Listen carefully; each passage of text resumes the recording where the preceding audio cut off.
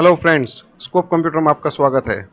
मैं हूँ इरफान और मैं आपको सिखाऊँगा Adobe Illustrator friends Adobe Illustrator एक vector based graphic designing software है, जिसमें हम इलस्ट्रेशंस कर सकते हैं। इलस्ट्रेशंस का मतलब होता है कुछ भी स्केची बनाना, कुछ भी क्रिएट करना ड्राइंग को इफ़ कार्टून इफ़ेक्ट ड्रॉ करना कार्टून बनाना, किसी भी कंपनी का लोगो लोगो डिज़ाइन करना ब्रोशर डिज़ाइन करना एडवर्टीजमेंट डिज़ाइन करना।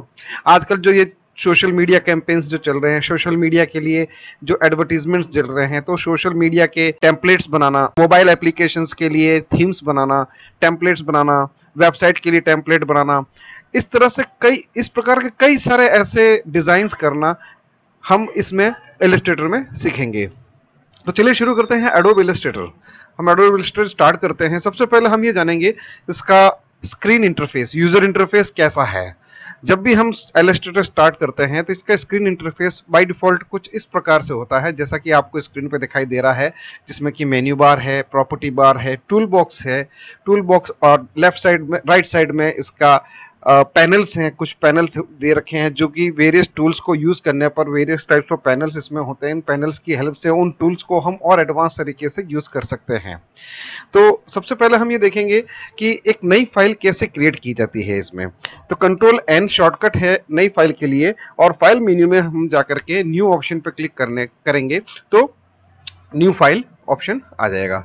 जैसे हम कंट्रोल एन करते हैं या फ़ाइल मेन्यू में जाके न्यू ओपन न्यू पे क्लिक करते हैं तो ये कुछ एक इंटरफेस आता है आपके सामने जिसमें कि रिसेंटली जो हमने यूज़ किए हैं एप्लीकेशंस के अंदर ये लेआउट्स वो लेआउट्स बताता है।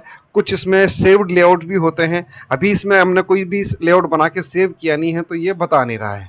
ठीक है? इसी तरह से मोबाइल मोबाइल के लेआउट्स होते हैं, जैसा कि मैंने आपको पहले भी बताया कि इसमें हम इलस्ट्रेशन में हम मोबाइल के थीम्स जनरेट कर सकते हैं, उनको अलग अलग कलर के आइकन्स बना सकते हैं, उनमें हम वेरियस इफेक्ट्स दे करके एक अच्छा सा लुक देते हुए एक बढ़िया सा टेम्पलेट तैयार कर सकते हैं।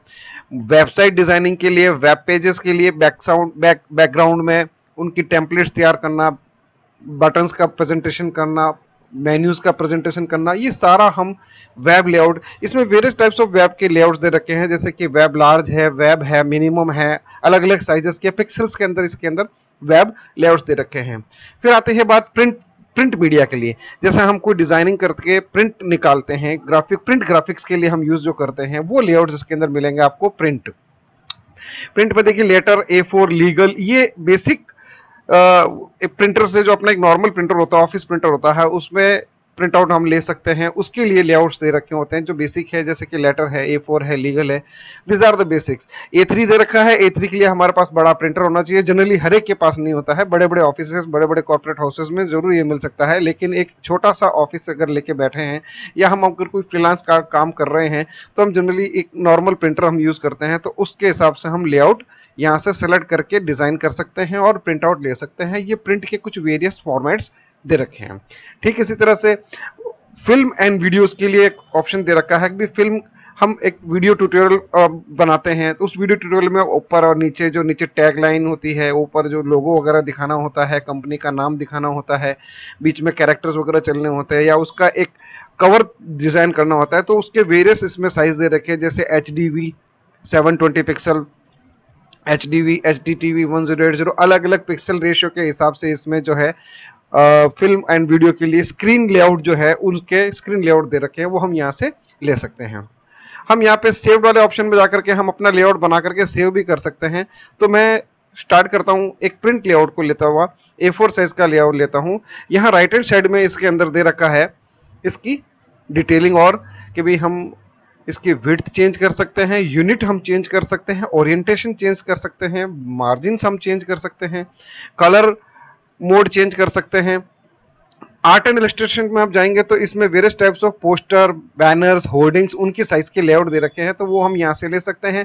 और इन सब के अलावा अगर हमारा कोई कस्टमाइज साइज़ है तो वो कस्टमाइज साइज़ हम यहाँ पर विथ एंड हाइट जो दे रखी है, यहाँ पे हम मेंशन कर सकते हैं विथ एंड हाइट को पॉइंट्स में पिक्सल्स में इंचेस में मिलीमीटर्स में सेंटीमीटर्स में एटसेट्रा ये इसमें हम डिफाइन कर सकते हैं. फॉर एग्ज़ाम्पल के तौर पर मैं जैसे यूज़ करना चाहता हूँ इंचेस तो मैं यहाँ से इंचेस यूज़ करूँगा. एक फोर बाई सिक्स का मुझे एक पोर्ट्रेट बनाना है फोर बाई सिक्स इंचेस का तो यहाँ पे फोर लिखूँगा. हाइट में इसका मैं सिक्स इंचेस करूँगा. ओरिएंटेशन अगर मुझे हॉरिजॉन्टल चाहिए, यानी कि वाइड चाहिए तो मैं यहाँ से वाइड कर सकता हूँ. अब सिक्स इंटू फोर हो जाएगा. वर्टिकल कर सकता हूँ। नंबर ऑफ़ आर्टबोर्ड आर्टबोर्ड का मतलब होता है अलग अलग कैनवास पे अलग अलग तरह की डिज़ाइन बनाकर रखना। जब जिस कैनवास की प्रिंट लेना हो, उस कैनवास पे हम क्लिक करके उन में जो बने हुए सारे ऑब्जेक्ट को सेलेक्ट करके प्रिंट देना या उसका स्केच प्रिंट निकालना। ये सारा हम अलग अलग आर्टबोर्ड भी बना सकते हैं। एक ही डॉक्यूमेंट में हम जिस तरह से देखा होगा आपने कि एम एस वर्ड में जैसे हम काम करते हैं मल्टीपल पेजेस होते हैं। इसी में एक फ़ाइल के अंदर हम मल्टीपल आर्टबोर्ड्स यूज़ कर सकते हैं। अभी इसमें सिंगल आर्टबोर्ड दे रखा है। हम यहाँ पे डबल आर्टबोर्ड भी कर सकते हैं। दो four by six four by six के दो आर्टबोर्ड आपके सामने आ जाएँगे स्क्रीन पे। फ़िलहाल हम इसको अंदर एक करते हैं। एक ही आर्टबोर्ड यूज़ करते हैं। ब्लीड ब्लीड होता है इसका मार्जिन प्रिंट एरिया कितना रखना चाहते हो? आप चाहते हो आर्टबोर्ड के अंदर बिल्कुल ज़ीरो टू ज़ीरो हम बॉर्डर टू बॉर्डर लेस हम प्रिंट करना चाहते हैं यूज़ करना चाहते हैं। मैक्सिमम एरिया तो हम यहाँ पे इसको ज़ीरो रखेंगे। अदरवाइज़ हम यहाँ पे इसके अंदर मार्जिन अप्लाई कर सकते हैं। तो फ्रेंड्स देखिए एडवांस ऑप्शन में जब हम आते हैं तो इसमें हमें प्रॉपर्टी मिलती है कलर मोड चेंज करने की। एंड स्क्रीन के पीपीआई पिक्सल पर इंच का जो है रेशियो मिलता है, इसमें आरजीबी कलर मोड है सीएमवाई के कलर दो तरह के कलर मोड होते हैं रेड ग्रीन ब्लू आरजीबी जो कि हमारे पास इसमें बाय डिफ़ॉल्ट ले रखा है। एक होता है सीएमवाई के जो ऑफसेट प्रिंटिंग के अंदर काम आता है सियान मेजेंटा येलो ब्लैक इन चार कलर के मिक्सअप से वेरियस कलर्स इसमें जनरेट होते हैं प्रिंट होते हैं। फिर है इसके अंदर रास्टर इफेक्ट्स के लिए स्क्रीन का जो पिक्सल रेट दे रखा है सेवेंटी टू हम यहाँ पे इसको बढ़ा सकते हैं हाइएस्ट टू हाइएस्ट लेवल पे ले सकते हैं इसका डिज़ाइनिंग का जो हम कर रहे हैं ग्राफिक में, उसका पिक्सल पर इंच जो है 300 यानी कि एक इंच में 300 पिक्सल्स होंगे, और जितने इंच की हमारे पास डिज़ाइन होंगी, उतना 300 हंड्रेड इंटू पिक्सल्स को ये मल्टीप्लाई करके उसकी क्वालिटी को शो करता है। प्रीव्यू मोड डिफ़ॉल्ट दे रखा है पिक्सल वाइज दे सकते हैं ओवरप्रिंट दे सकते हैं। बाय डिफ़ॉल्ट हम यूज़ करेंगे इसका प्रीव्यू मोड तो ये होता है, जब भी हम कोई नई डॉक्यूमेंट क्रिएट करते हैं उस न्यू डॉक्यूमेंट में वेरियस टाइप्स ऑफ़ हमें लेआउट्स मिलते हैं, जिसमें कि मोबाइल लेआउट होता है वेब लेआउट होता है प्रिंट लेआउट होता है फ़िल्म एंड वीडियो लेआउट होता है आर्ट एंड इलस्ट्रेशन लेआउट होता है। These all are the various layouts इसमें रेडीमेड कुछ वेरियस इसमें लेआउट बने हुए मिलेंगे। अगर आप अपना कस्टमाइज लेआउट चाहते हैं तो इसके पैनल में राइट हैंड साइड में जो है इंचेस में दे रखा है पिक्सल्स में दे रखा है यूनिट्स दे रखी है। उन यूनिट्स की हेल्प से हम विथ एंड हाइट हम मैनुअली टाइप करके अपना एक कस्टमाइज साइज़ का आर्टबोर्ड तैयार कर सकते हैं मल्टीपल आर्टबोर्ड भी रख सकते हैं सिंगल आर्टबोर्ड भी यूज़ कर सकते हैं। तो जैसे ही हम क्रिएट करेंगे, जो साइज़ हमने लिया है विथ एंड हाइट वाइज उस विथ एंड हाइट का, उस ओरिएंटेशन का, उस यूनिट में एक नया आर्टबोर्ड क्रिएट हो जाएगा। देखिए दोस्तों, इस तरह से ये आर्टबोर्ड प्रेजेंट हो जाता है। चलो तो ये तो बात हुआ कि एक नया डॉक्यूमेंट कैसे बनाया जाता है।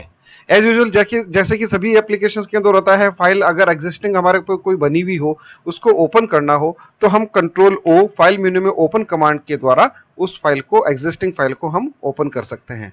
देखिए, इस तरह से मैं ये जो ड्रैग कर रहा हूँ तो इससे क्या हो रहा है, ये टैब्ड डॉक्यूमेंट अनटैब्ड डॉक्यूमेंट दिखाई दे रहा है। यहाँ पर हम एक साथ मल्टीपल डॉक्यूमेंट्स को ओपन कर सकते हैं, उन मल्टीपल डॉक्यूमेंट्स को हम इंडिविजुअली इस तरह से शो कर सकते हैं, या एक साथ एक ही टैब में हम मल्टीपल टैब्स को अप्लाई करके वन बाई वन इनको हम ओपन कर सकते हैं, या यूज़ कर सकते हैं। इंटरफेस पे हम अलग फ़ाइल से दूसरी एक फ़ाइल से दूसरी फ़ाइल में हम यूज़र इंटरफेस में हम जा सकते हैं स्विचिंग कर सकते हैं। उसके लिए मैं बताऊँगा, जिसके लिए मैं कंट्रोल ओ करता हूँ, एक कोई और फ़ाइल ओपन कर देता हूँ। इसमें एडोब इलिस्ट्रेटर की।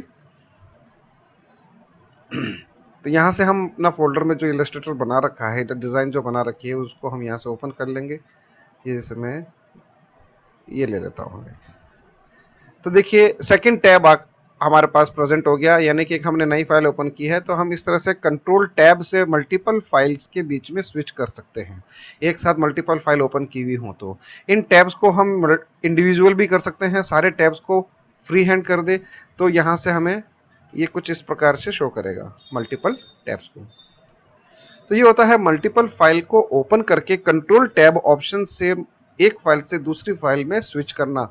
अब हमें ये जो न्यू फ़ाइल है, इस न्यू फ़ाइल में ये वाला शेप जैसे मान लीजिए मुझे लेना है तो मैं इसे डायरेक्ट ड्रैग कर सकता हूँ। ड्रैग एंड ड्रॉप तो अब उस आर्ट बोर्ड से, उस नए वाले फ़ाइल से इस फ़ाइल में ये इमेज या ऑब्जेक्ट जो भी हमने ड्रॉ किया है, वो यहाँ पे इंसर्ट हो जाएगा। कॉपी पेस्ट भी कर सकते हैं डायरेक्ट ड्रैग भी कर सकते हैं। तो ये होता है मल्टीपल फाइल्स को ओपन करके स्विच बिटवीन मल्टीपल फाइल्स करना एंड मल्टीपल ऑब्जेक्ट्स को मल्टीपल फाइल्स में ट्रांसफ़र करना। ठीक है दोस्तों?